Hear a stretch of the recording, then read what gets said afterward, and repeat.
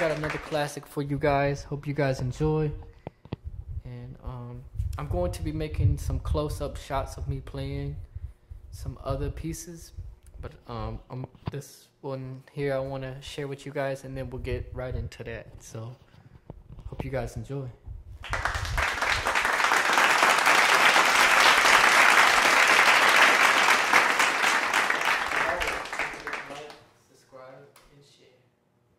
Thank you.